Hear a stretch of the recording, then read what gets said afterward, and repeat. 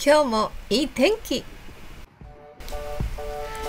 朝晩はだいぶ涼しくなってきましたけれども体調管理万全ですか？皆さんこんにちは。横浜発ようこそ日本へ案内役のお母さんです。このチャンネルは横浜を中心に神奈川県の魅力をお伝えしています。多言語で情報発信をしています。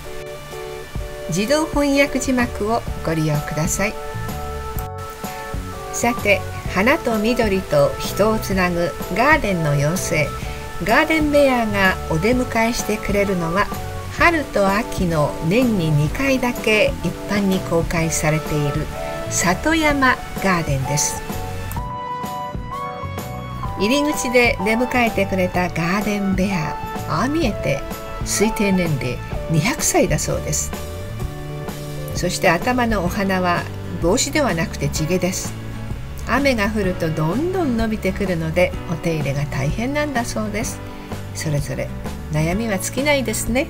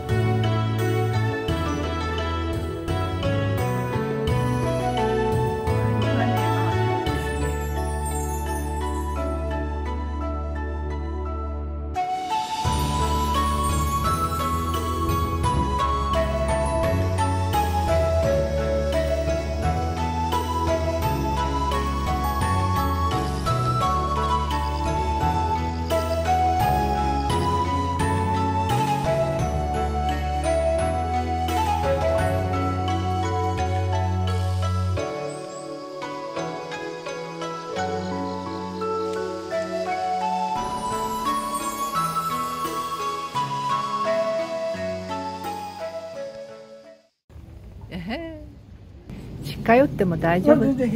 あこんにちは。こんにちは。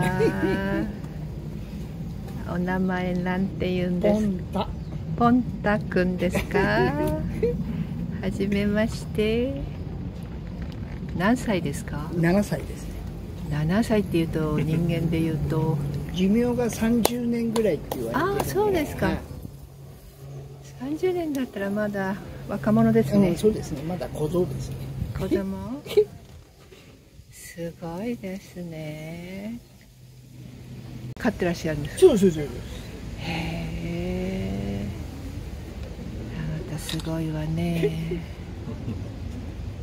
まあご立派なお顔してらっしゃる。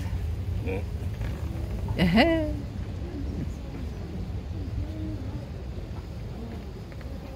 どんな鳴き声するんでしたっけ？ほーっていう。ほうほうも鳴くしめいめいも鳴くしキュルキュルも鳴くし。ああそうなんだ。からやっぱりそのほら鳴き声で餌鳴きとかあいろんな威嚇とかなるほど。いろ,、うん、いろんなのありますね。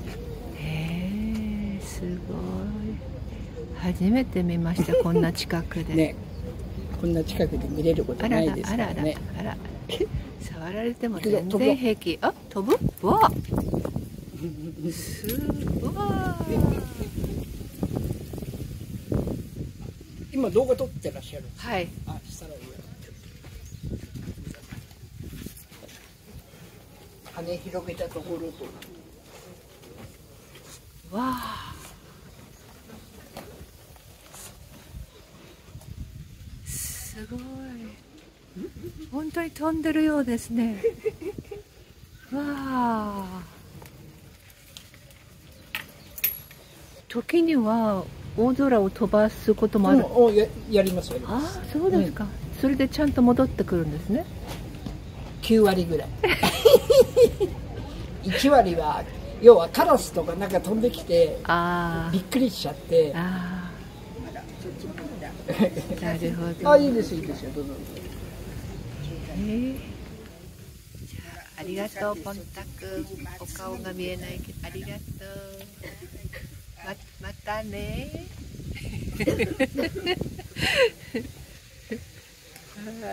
素晴らしい。ありがとうございます。はい。や来た甲斐がありました今日ここに。取れ高が。本当にびっくりしました。あんな近くで見られることなんてないですものね。